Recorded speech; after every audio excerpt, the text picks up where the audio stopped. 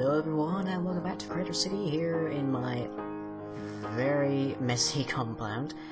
And as you can see, the uh, gold farm has now been completed. It is functional. It just needs a it just needs a full cover around it, rather than just being the uh, strip of mostly dirt that it has at the moment.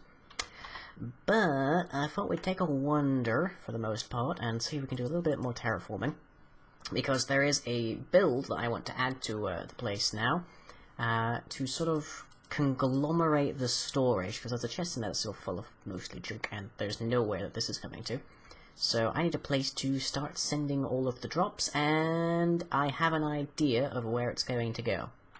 Uh, but our topic for discussion today is that of climate change, because um, I have what could be described as an interesting view with regards to climate change.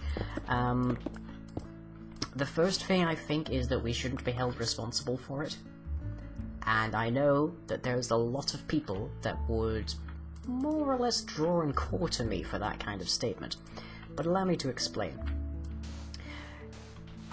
Animals in nature are constantly threatened by their predators. They are constantly uh, at risk of being made extinct by those around them. And any decently sized population of animals is going to have an indelible and tangible effect upon those surrounding it. And I'm really out of... no, not out of... What, just out of memory, apparently.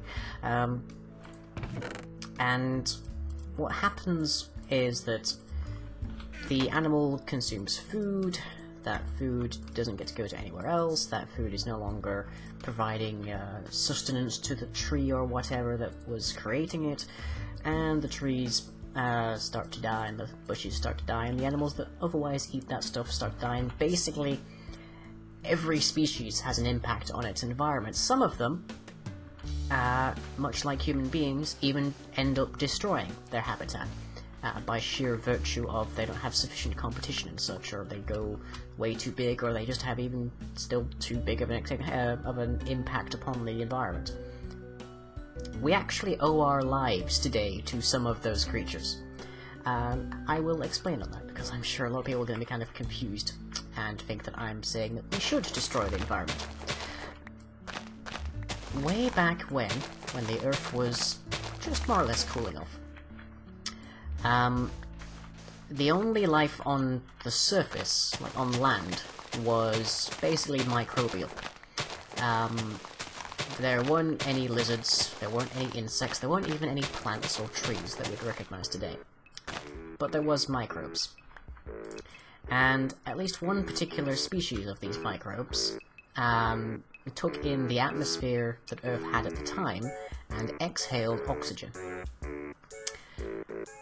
Over time, bearing in mind these guys had no competition whatsoever, over time they converted pretty much the entire surface air of Earth.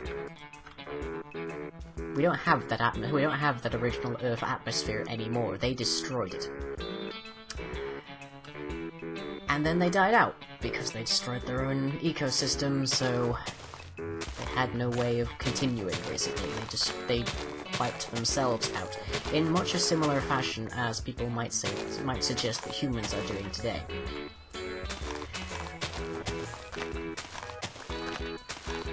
Now, I do not mean, if anyone should take it this way, to say that we shouldn't care about our environment.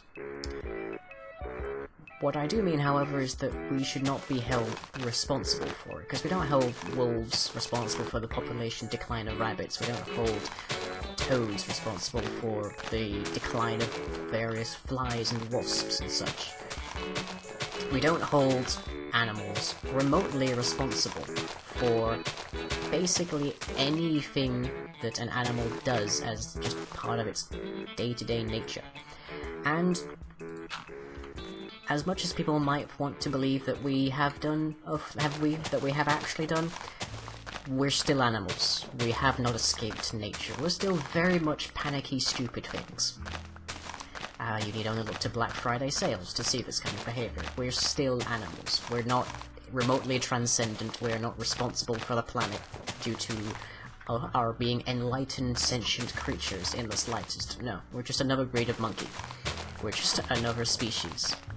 And we do exactly the same kind of things that other species do, which is we master our, our native environment, we avoid our predators, we grow our numbers, eventually we overpopulate our territories and we look for more. And behind as such we have effectively conquered the planet. Now, there is, however, a reason that we do need to pay attention to what's going on with Earth. And first and most obvious is our own survival, because the less we pay attention to it, the less we will notice that the weather is changing, that the water is rising, that storms are getting worse and more frequent. We need to pay attention to our territory, or we're going to lose it. So, the analogy that I can kind of apply with regards to climate change and humans is that of a wolf pack. The way a wolf pack works is it finds a territory, it finds a hunting ground, and it begins to uh, consume the resources there, it hunts the prey there, and its population grows. Um, this is assuming that what goes to plan for the wolves, because of course many things can happen. Al alternatively, they might not know the local weather patterns enough to avoid a storm or a, or a harsh winter, for example, in which case they may want to relocate. But Eventually this takes its toll, so the prey starts to become less common than it was before, and the lack of the plants that the that were previously affecting the environment causes certain climatic changes. Not on the order of uh, what's happening with global climate change, but significant enough. Um, for example, if there's a couple of deserts in the world that have been happened that have occurred purely by virtue of there being so much predation on the plants that were there. But uh, this, this all happens slowly over time, and eventually the wolf pack catches wind of this. Uh, they find it harder to find prey, they notice the weather getting a bit less uh, welcoming, and they start to have a harder time. In response to this, their first and primary motivation is to find a new hunting ground.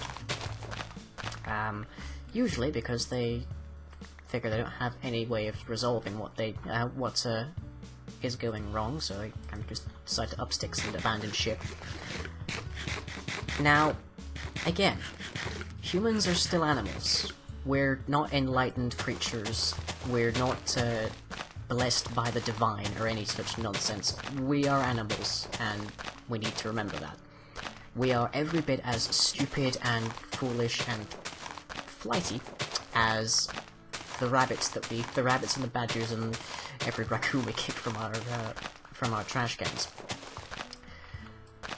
So what do humans do? Well, our we are a creature that is unique only in the sense that we have made the entire planet our territory. It's our it's our own colossal hunting ground, and we have, we have absorbed its resources. We have uh, hunted its prey, and we've started to hello. What the hell are you doing here? We've started to and why aren't you killing him? He's...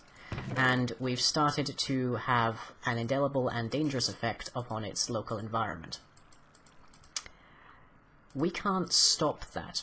We're now way beyond, in fact, the point of actually being able to uh, prevent climate change from from taking full swing. Now, nowadays, all we can do is mitigate it for the next few generations, but the Earth is pretty screwed. And it's actually a lot more screwed than a lot of people tend to think because there is a destiny for Earth that has been written since the Sun ignited, which is that the Sun is a, I believe it's a phase-free star? I can't recall exactly. But we know exactly how the Sun is going to progress through its, uh, through its years. It's currently an adolescent. As it gets older, it is going to get hotter and it is going to expand. Eventually, it is going to roast away every single piece of moisture on the planet, and then it's going to eat it. Earth has a lifespan, and whilst none of us alive today are going to see it, our descendants and our children will. Oh, hello. So, what we need to bear in mind is that Earth is, and has always been, temporary. It's not going to be there for us to take care of. It's not going to be there for us to look at fondly through a mirror or, or through a satellite feed. It's going to die. Earth is a pet, in essence. After a point, you, you, you, after a point, we are going to have to let it go. So there is a degree to which we have to remember this, because it is going to it, it puts all of our efforts to stabilize the climate in a much more finite and greater and understandable uh, context, which is, after a point, it's all pointless. So the course of action, as far as I see climate change, um, is we do exactly what the Wolfpack would do. We look for a new habitat, we look for a new territory, a new hunting ground, and the first point of call for that is Mars, and so looking at some fantastic stuff coming out of the Mars landing and such. And a lot of new, renewed innovation and interest in uh, Mars colonization, so it'll be very fun to see. Mars isn't as big as Earth, so maybe a, maybe try to keep looking for some other places. Gliese is another promising one. But, um, meanwhile, the Wolfpack doesn't generally tend to send everybody out looking for a new settlement, it tends to send only a handful of people out, with some scouts, as it were. And while those scouts are uh, out and they're waiting for them to come back, or waiting for a sufficient period of time for them to believe that they might have actually stopped it on the way, they try to minimize what they're doing. So, they ration their food, they spend more time resting because it uses less energy. In short, they cut back so that they don't destroy the environment whilst they're still living in it. And that is the way that I see climate change. I see climate change as a problem that we're currently having to deal with. A problem that we can find a way out of, and a problem that we can ultimately escape. But meanwhile we have to put up with uh, something that we meanwhile have to micromanage, we have to pay attention to. I don't, for the slightest instant, think that we should uh, repair Earth, as it were, with the intention of always being here. I don't think that Earth is our responsibility. Earth has done, Earth has been kind to us in the past, but it's not going to be here forever, and indeed the version that we know today is just the one that we spent the most time with. It's not the Earth that, uh, that has been for the most for the majority of its lifetime. Human history occupies, uh, let me see, I think it was, if you condense the entire lifespan of Earth into a single day, then we have existed for a minute or two close to midnight. Like, the Earth that we have become accustomed to, that we want to save, is just an example of favoritism. Earth has always been changing. And I guess that also stems into how I feel about humans trying to prevent certain species from going extinct. Extinction... Well, e extinction is death on a large scale of a, of a specific species. And honestly, that's very, very normal. It is in fact quite strange to find a species of animal that hasn't uh, had to worry about extinction or hasn't gone extinct. And the reason for this is that most times it exhausts its supplies or it gets out, or gets uh, uh, killed off by its more efficient and effective predators. Over times, uh, it just evolves into something else and the old specimens just die off. So effectively, it die it becomes extinct by virtue of becoming uh, obsolete. In the most positive fashion that I can say that anyways. People don't seem to like the word obsolete, especially when it's applied to uh, people.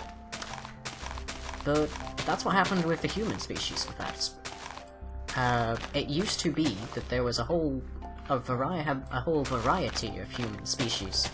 Now we are down purely to Homo sapiens uh, which is you and me these days. We used to have uh, Homo floresiensis, although I think there was some debate over whether that was actually a species.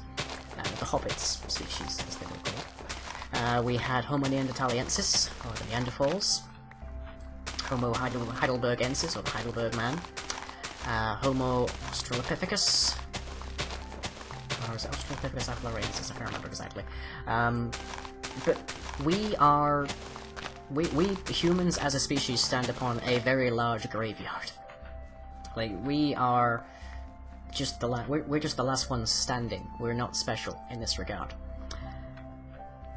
Now, this does continue on. Um, death is just sort of the natural consequence of living. So, we can't really hold any particular species as sacred. We couldn't, we shouldn't say that we should guard this species from extinction because it is our duty as evolved man and stuff. Well, no. Species dying out and going extinct is a vital component of evolution. We can't protect a species like that. Honestly, that is if anything amoral with regards to the way that evolution works.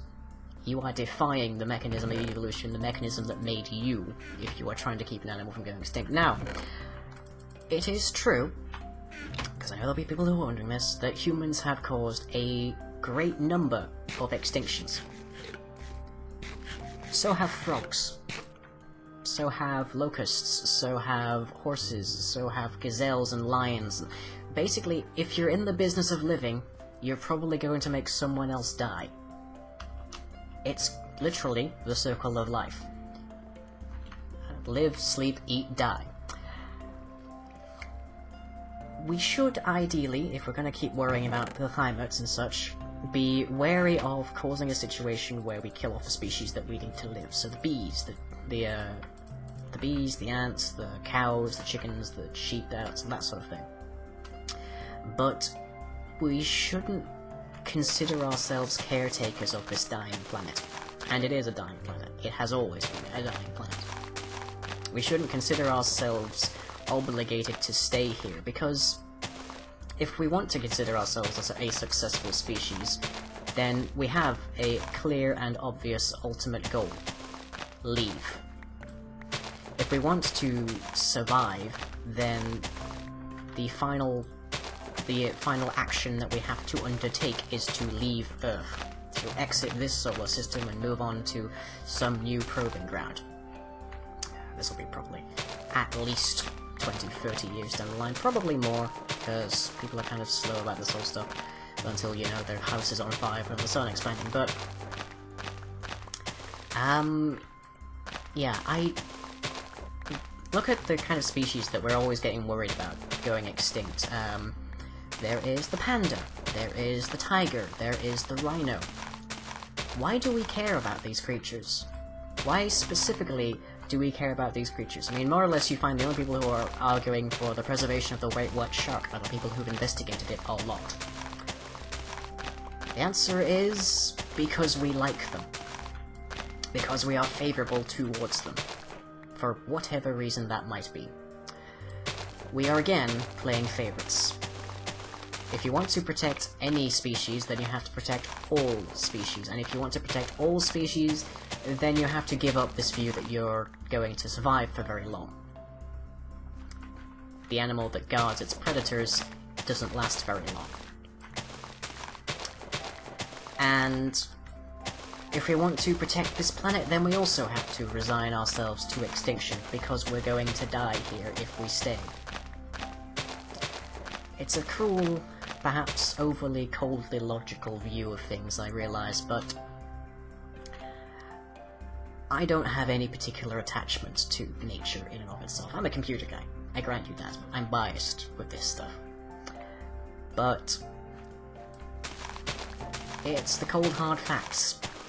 Fact is, we stick around, we're going to die, we protect any species without playing, without just playing favourites upon the ones that look cute or are interesting and fascinating in the scientific context, we're going to die. We're all going to die. All that I do today, for example, will be completely worthless if it is not in the aim of my own survival. Now granted, I've gotten to this stage now where I can be quite comfy. I'm sitting here on a computer, talking to the internet. I don't need the internet to survive. I don't need a computer to survive, although it certainly helps me. So you can argue that there's a certain degree of living that we could restrict ourselves to, and it would not kill the planet quite as quickly. We'd be able to prolong our amount of time here that we can live comfort comfortably whilst we look for the next proving ground. And you'd be correct. Except I'm not exactly certain where you draw the line on comfortable. I'm not quite sure exactly where you draw the line on living. Because I'm well, very recently, in fact, I am making a very small amount of money from this, which eases my capacity to acquire food and such in the month. Someone with a wheelchair or crutches, for example, might argue that they need those to live, but I tell you, I'm sitting in a chair now, why do they need it? Why is there- I'm not moving around at all and I'm living, why do they need it? Well, this is the problem. We also cannot go to other species and say, you should stop doing this because it's killing the planet too fast for our tastes. Magpies and crows, for example, are, a, lot, a lot of corvids, are quite intelligent and will make tools. Do we tell them to stop making their tools out of the fallen twigs of a tree? Do we go and tell apes to stop using lengths of lengths of wood to probe the depth of the river they're crossing? It's impossible for us to really distinguish what part of us is our animalistic nature and what part of us is an outgrowth. We can't really say that we're not animals, that much is certain. Because again, we're not the only ones with tools, we're not the fastest like cheetah, we're not the biggest like an elephant. No, we're just us. We're just another ape. And I know there's a lot of creationists who would like to say that I'm that I'm an atheist saying that we're apes, and clearly that's uh, that's just being mean and saying that I'm a godless heathen and whatnot, but yeah. So, my view is that we should live as comfortably as we can without sending the Earth into a massive down spiral, and we are capable of maintaining, more or less, our current standard of living in this developed world. Uh, the less developed worlds certainly a look-see to make sure they're working a bit better. But uh, we can maintain this degree if we are a bit smarter about where our energy is coming from. Uh, we need to stop burning the fossil fuels, because heck knows we've done enough damage to getting them already. We need to be smarter. We need to remember that there's a giant thermonuclear fusion event going on directly above our heads. Right over there, in fact. So my view on climate change, as I, as I wrap up this little terraforming video, could be summarized in... It is our fault, it's not our responsibility, but because it's happening, we need to take care of it. We need to manage it, be careful with it. We need to stop playing on this notion that we are responsible for all of Earth because we aren't. No species is. Our own destruction of the planet is an outgrowth of us being from it. Earth has been this wonderful cradle, but we need to leave it. And as the sun sets, I'll remind you all that, uh, like, favorite, subscribe, all that various fun stuff.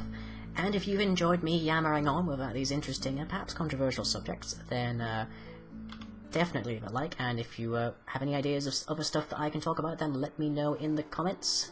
And yes, good for Astra.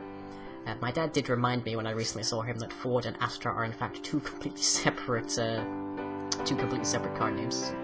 Yeah, I am not a car guy, so he's Ford Astra.